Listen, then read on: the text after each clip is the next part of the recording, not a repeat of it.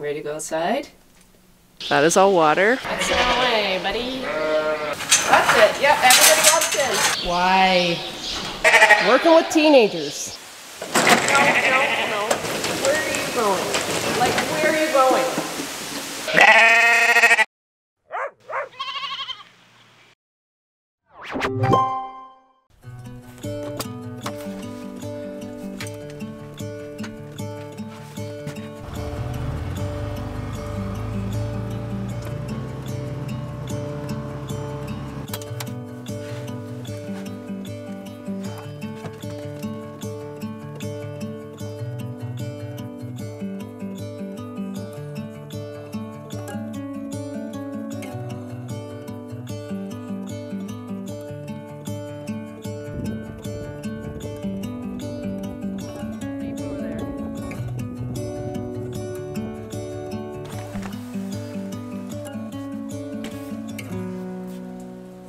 Good afternoon. We just went for a nice little winter stroll with our snowshoes and our rubber boots. It was a little challenging.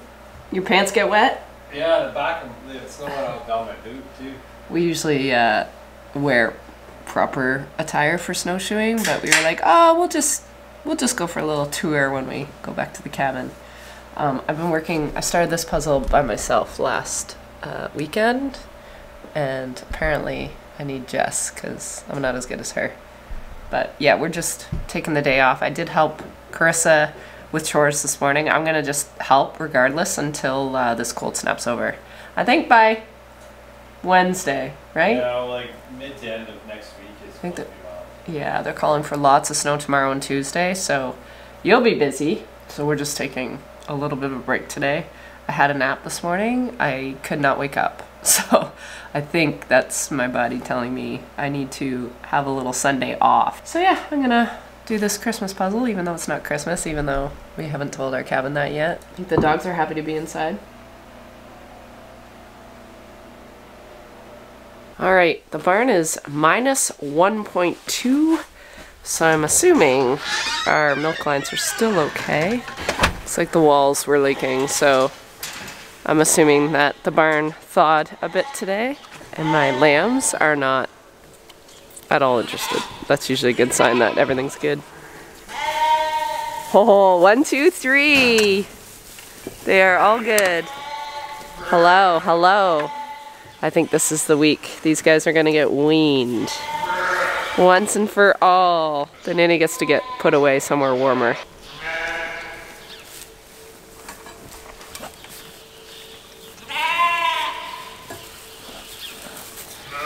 Good morning. It is Monday, which means we're back to work, even though every morning's been like Groundhog Day. We just do the same thing.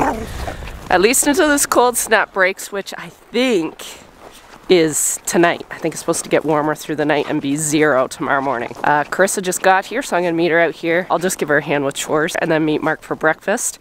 He's gonna do the full on uh, yard clean out. It doesn't look too, too bad. The snow we got on the weekend's been pretty fluffy, so it shouldn't take him too long. But he said it'll probably take him most of the morning to get all the neighbors and everybody done. So I'm sort of doing a mental to-do list in my head. I might hoof trim my ewe lambs today if it warms up enough. But we'll see. Sandi's back is a little tender from the snowmobile running the other night. All right, chores are done. The barn is warming up nicely now. I think it's minus one, minus one and a half. We've been sort of waiting for our creep feed. We're all out, just waiting for the trucker to get here. He's probably gonna be here shortly, but I think in the meantime, Mark cleared a path to my hay bales, which are in the field. Uh, otherwise, I wouldn't have been able to get at them. And he said, go grab some, get them stockpiled for the market lambs. If we waited and the snow started melting, it'd be a mess and he wouldn't be able to get it moved. So that was, uh, that was some forward thinking of my hub. So I'm gonna take a couple minutes while I'm waiting for this feed to get here.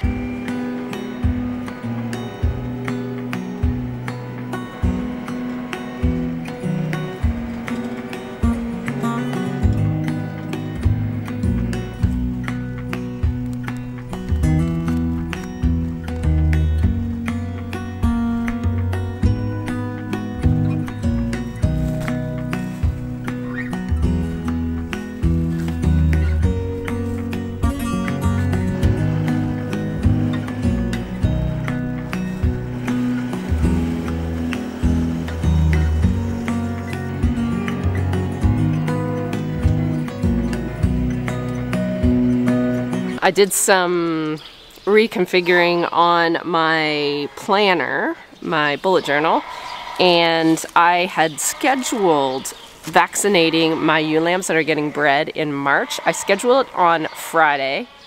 I think that's the 26th. The 26th. But I've been sort of playing around with breeding dates. I should never do that because I always forget to write them down somewhere, but I have them written down everywhere for everyone that's going to come at me. Please don't come at me. Um, and I'm going to actually shift it a few days forward because we got something going on in March that I will fill you guys in sooner to the date. So that means today is the day they need vaccinated. This vaccine is 60 days prior to breeding. You give it to them. It's the chlamydia vaccination, and then the booster at a month before you put in the rams. So today is that day to hit the eight weeks mark, and then in four weeks we'll do this again. The trucker just called me, said, I'm on my way, I've had issues. I'm like, no worries. Uh, but in the meantime, I did have to put a little bit of barley in these feeders because what can happen is when my lambs run out of creep feed, uh, creep is just the feed they get supplemented, you know, off mom, like on their own.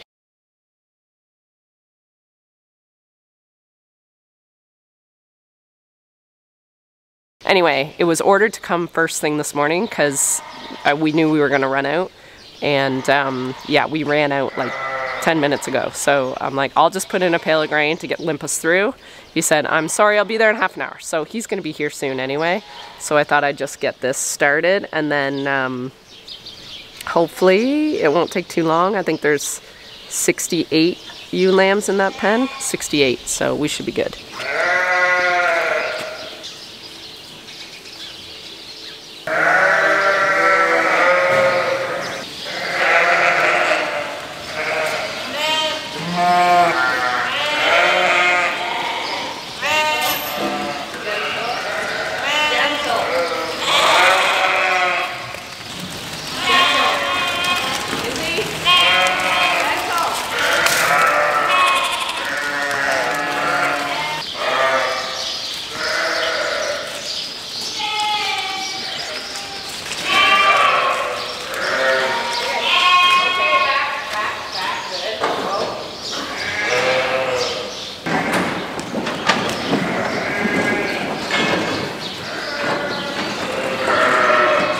Okay, just an update on the chlamydia vaccine. So chlamydia has sort of been that ghost that entered the barn as soon as I got sheep. We've been vaccinating for it basically since my second year, maybe sheep farming. So what can happen is a couple weeks to a month, a couple weeks before lambing, you'll see ewes starting to miscarry lambs, abort lambs. And uh, back in the day, we got them tested and chlamydia was the smoking gun all the time. So we've been vaccinating like crazy ever since. It's really helped on that. Now we've had stillborns since then, or mis uh, miscarries, or abortions, whatever you want to call it. Um, but they've been other things. There's a few, but Q fever has been the, the one that's sort of in the environment. That's a harder one to get rid of. Yeah, so chlamydia is something that uh, you just do. Why are you holding your leg out? Did your doggy bite you? Sore paw. Okay, it's a two mil injection done now and in four weeks. And I'll just scan their tags so they're entered in the computer system. You guys, you're all like overlapped.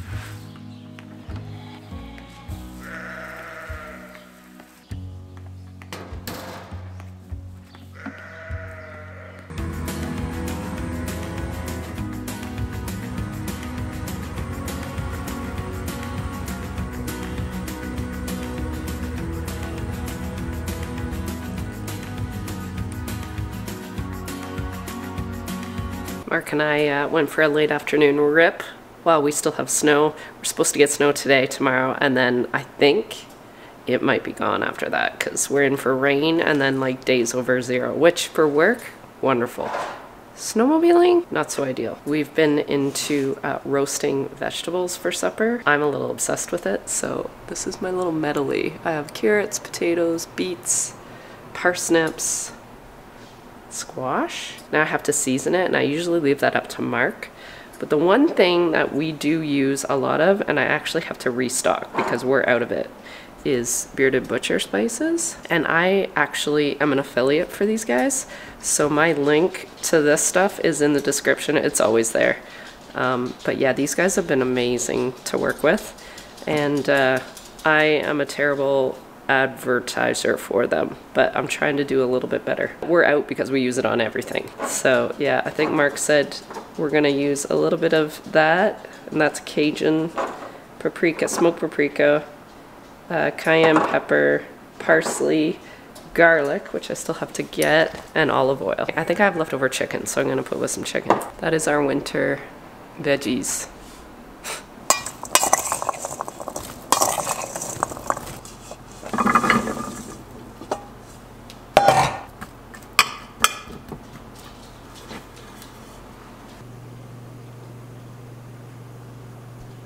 Good morning. Oh, we're a little curly today. All right. Every day we wake up a little different. It's early. What is it? 10 to 6. Just finished my coffee. And uh, I got an email this weekend, and uh, I meant to share it yesterday. Was yesterday Monday? Yeah, today's Tuesday. The day got away from me, and I forgot to share it. Anyway, it was really sweet, and Erica, my niece, is doing a great job sort of trying to organize my emails. I haven't seen a lot of uh, personal emails from you guys just because of uh, everything was dumping into my inbox. So I had 35,000 messages or like notifications on my email. So it's down to 25 now. She's done an amazing job. I'm not going to say this person's name just because I'm not like some of these things are pretty personal.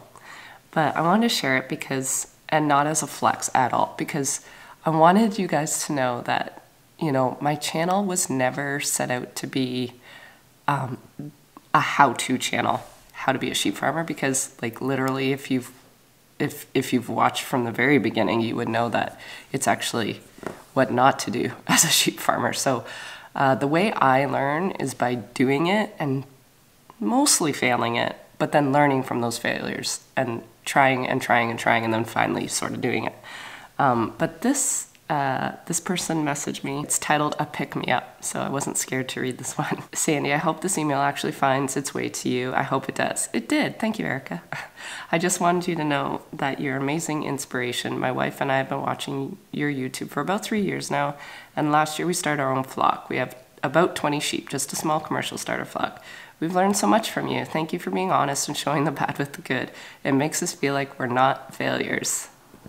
So he sort of gets it. Now, for the real reason I'm reaching out to you, I wanted to say thank you for giving me the confidence to do what I did this afternoon. When I got to the farm after work, I had a ewe down and in labor. I had no idea how long she'd been there, but she had two rear feet sticking out. Without thinking, I jumped in and pulled the lamb out. Everything went perfectly. I don't think I would have ever done this without watching your videos. We will be keeping this ewe lamb and be naming her Sandi. I hope this is fine with you. Just wanted you to know. So I'll put a little picture of the lamb, but it's a little black lamb and she's so cute. Oh, mama's beautiful too. Anyway, so I just, I wanted to share that message because this person sort of gets it. Like, it was never, the channel was never meant to be like, do what I do because we all know there's a million different ways to do anything, and sheep farming is definitely one of those things. So that was a really nice thing to read. Um, and then, of course, I was sifting through some comments of my last video, and I wanted to speak to this a little bit. And um, it's more, it's more of an internal in our farming profession. And it's the reason I actually left Twitter during COVID, really, because I just think people became a little unhinged, rightly so. But I found in our industry, um, people are really becoming a little polarized or just maybe not watching, like, words matter. And uh, the message I got was like, something along the lines of, you know, us ranchers really basically don't like it when you grain farmers want more snow for like playing for snowmobiling. And it's like, we just went through a week of actual frozen hell here, uh, making sure water stayed thawed. I got nothing done that I wanted to do. And like for two hours, not even, an hour and a half, two hours, on a Saturday night, we decided to take out our snowmobiles that have literally just been collecting dust over the last few years. We decided to go for a rip. In saying that, Mark had said, I said, How were the trails? And he's like, They were garbage because there's not enough snow. And what he means by that is like sometimes our associations open up trails, and then because they're not all open, they get too much traffic in one little area, and then the, the trails are garbage. They run out of, there wasn't really enough snow to start with. So that was what he was talking about more than us wishing for more snow. And even if we did wish for more snow, it's only for snowmobiling. It's not for the work. The work part sucks. And we're ranchers too. We're ranchers and grain farmers. And I just think we need to be a bit careful as a farmer, sort of condemning another farmer, we need to remember that it's not just us in those comment sections. There's a lot of people that aren't farmers that are watching that. It doesn't matter what profession you're in, there's gonna be some really bad days and there's gonna be some really bad weather and it's not really a competition. We're all, we all work very hard. And I guess we're at the age now that we're like, if we can't take time to enjoy it as well, we're going to really start to resent our jobs. And uh, we don't want to get to that point. So I think um, I just wanted to speak to that comment because I think it's very easy to sit in front of a keyboard and just sort of have a cheeky comment or response. It might not have it might not have been meant maliciously, but you don't know how other people are taking that. Anyway, that's how my morning started out. Sometimes I just should not read the comment section at 5.30 in the morning. Sort of doesn't start the day out right. All right, I've either dressed way too warm or uh, just right. I have no idea what minus one feels like anymore. I forget. It's been a while. It's been nine days. What do you think, ladies? Is it time? Ready to go outside? Don't feel balmy to you guys.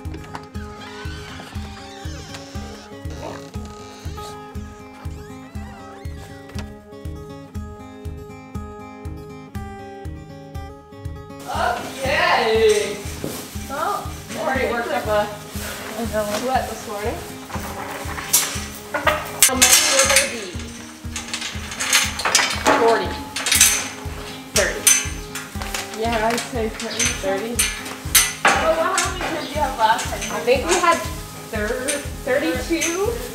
Yeah, you're right. I think 32 33. That was And it's been three weeks.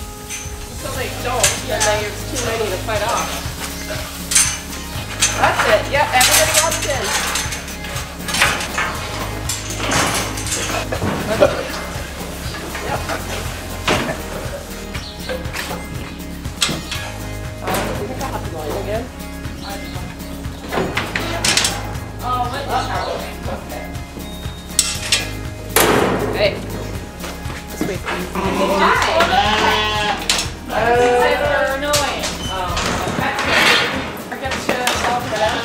Puts me right up on head and throws me the. Yeah. They're not way up crazy high. No, like they. I thought like 120. Good morning, good morning. Hello, popcorn. Hello, Ricky. You want some water? Thirsty? We'll go get you some green. Oh yeah.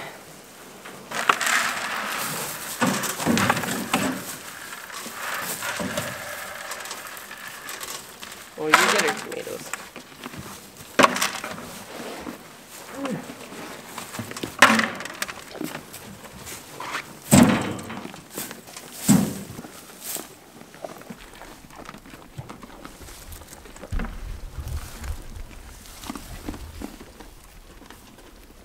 This is the perfect time to show you guys the time that I absolutely do not like this barn and it's when it becomes a rainforest. So check this out. That is all fog. That is all water from the melted snow, or the snow that's melting. It's not nice. Uh, we're right at the temp where the curtains are gonna start opening. I've got the north actually shut off because we've got a big snowbank on the bottom of that curtain and I don't want the curtain breaking. The south isn't as bad, so it's starting to open a little bit here. But oh my, everything is just wet. But that's what happens when it's like been so, so cold, everything sort of freezes up and it's actually quite nice when it's frozen because it dries up everything. But when it gets like this, these big swings, everything becomes really, really wet. And then we're doing a lot of bedding and it feels like, it feels like it's for nothing because it's wet an hour or two after you bed. So that's a one downfall of this style barn is this rainforest effect. So we just put up with this for a bit. I'm just really glad I did not build my pens right beside these because that would be inside my pens. And right now we have the mangers sort of acting as a dam, which is good. It is already 2.30 my barn, like my barn is underwater. Everything is melting. Uh, before lunch, I did set up to start hoof trimming my little ewe lambs that we did the vaccination with on Monday. And it's already 2.30, so I'm never gonna get all 68, 67, 68 of them done today. Um, so what I might do is just mark them with spray paint when I'm done and then whatever doesn't get done today, I'll either do tomorrow after I'm done shipping lambs or maybe Thursday. Show you what I did here, my little cheat. So uh, when the walls decide to melt, we put straw on the ground. Now they won't think that those puddles are black holes. Okay, onward.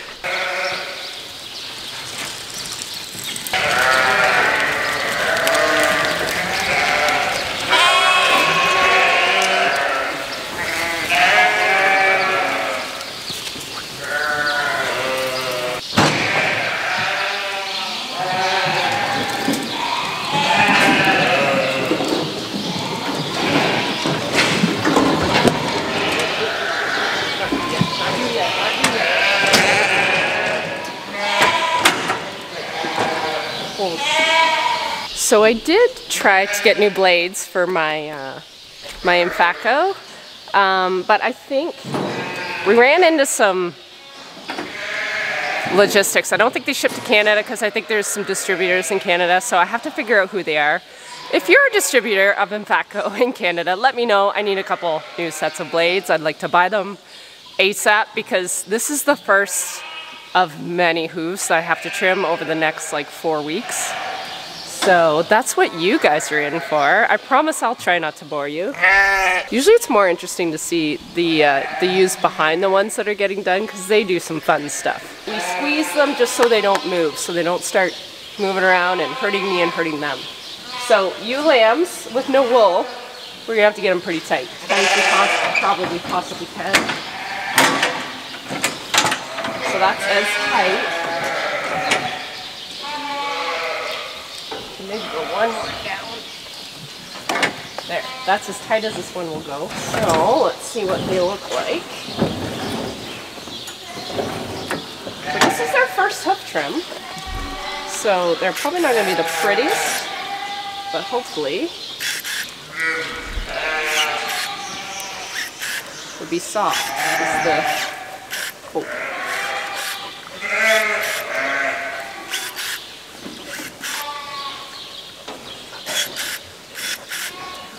So these guys will be done now, and they'll be done again after they're scanned.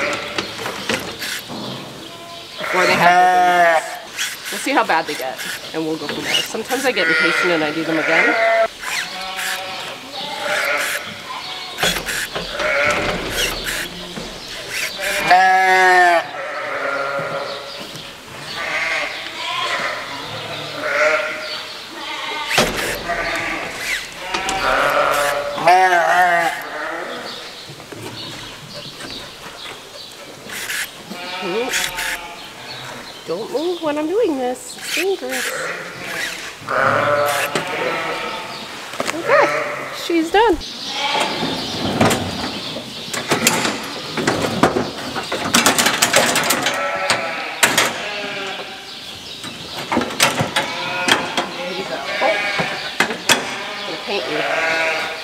do you?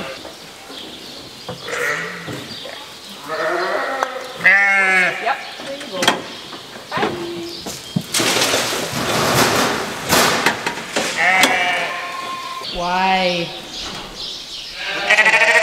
Working with teenagers.